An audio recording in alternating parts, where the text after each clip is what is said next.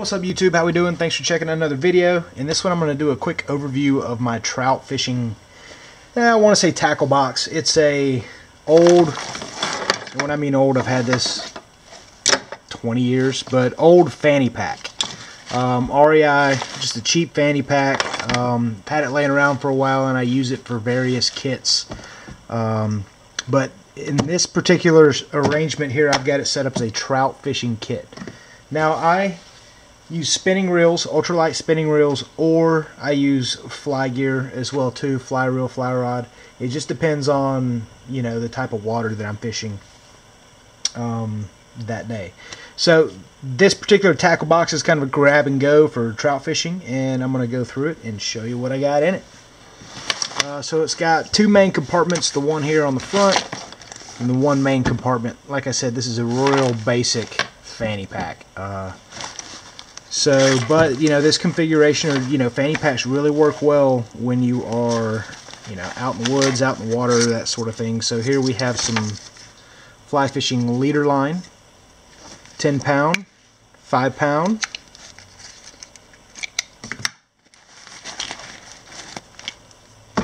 paracord,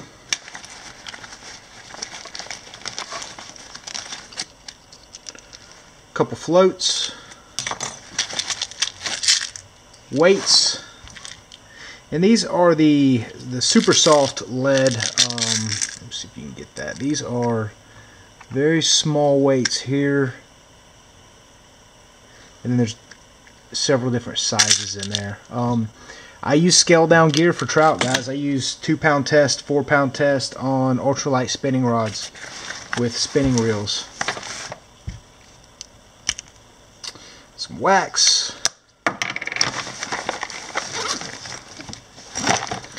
Alright, now down to the main compartment. Um, you know, I've got it kitted in smaller boxes here, and we'll just go over the the tool line. This is, you'll see this in a lot of my videos, sometimes attached to my uh, PFD. Um, this is a N-Rit Camp Pack towel, and these are just awesome. Awesome, awesome.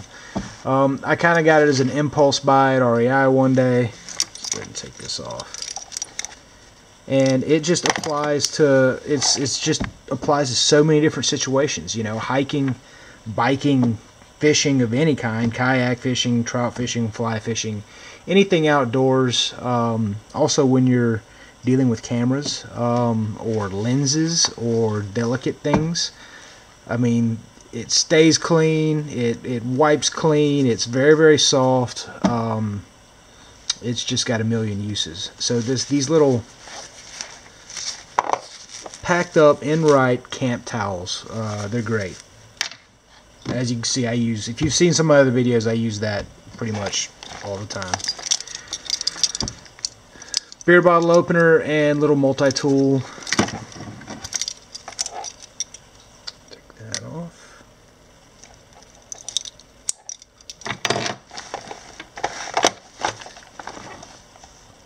This is my dry fly set.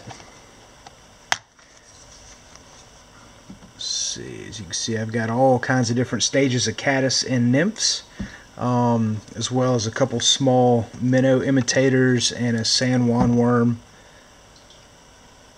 But there's a good variation here. Um, flies as well. So this this really works well in just about anywhere here in the southeast. Um, some of these actually picked up out west, like this caddis uh, with the yellow.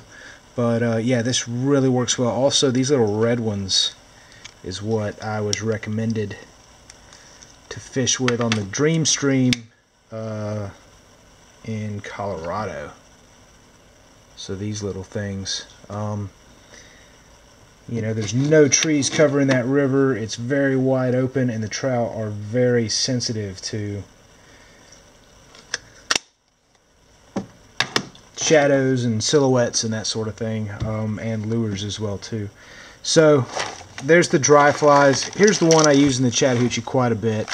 Small little box. Um, on one side I have just a small diver lure. That's actually a coho fly. I don't use that in the Chattahoochee River. That would be That would that would be illegal. but um, oops. Couple more little weights, uh, plastics of all kinds. Trout here love, you know, beetle spins and small plastic worms, uh, trout magnets. I use those quite a bit. Those work well too. Um, not so much salmon eggs, but sometimes you know you'll get you get them to hit the yellow ones. Um, I guess they think it's corn. A lot of people fish with corn on the Chattahoochee as well too. Haven't done that since I was a kid, but sometimes you can pick them up just because they're in the habit of eating something that looks like that. I mean, that looks like a piece of corn, right? But um, so these work really well too. Uh, gold in the river is what you want to go with as far as the Chattahoochee. Um, if you want to catch some of the more sizable trout in the Chattahoochee, I would use either gold minnow imitations or rooster tails with gold flashers or trout imitations, uh, like a brown trout imitation or a rainbow trout imitation. Uh, here's one that works pretty well on the hooch.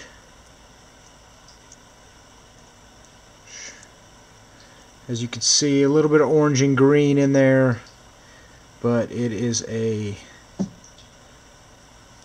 gold spoon, gold flasher. That's where we're at on that side.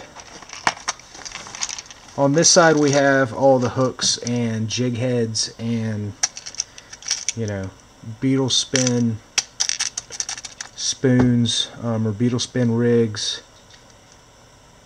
These work pretty well as well too. Pink is always a hot color in the hooch. Um, this is a micro trout magnet and this casts very well, works very well on a fly rod.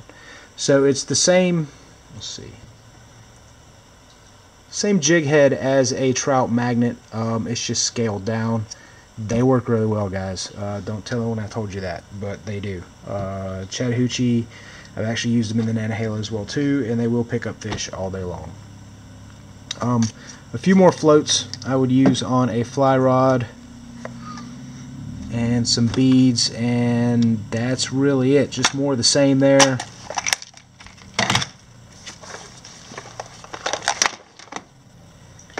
Nail clippers, line clippers,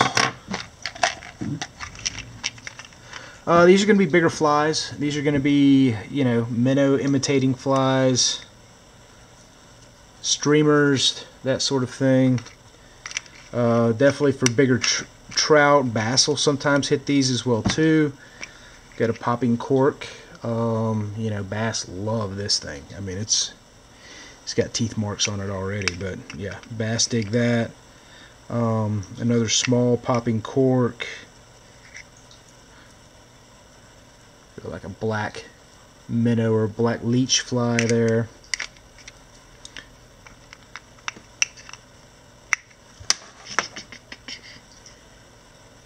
And a lot of these I've used more in, honestly, out west than I have used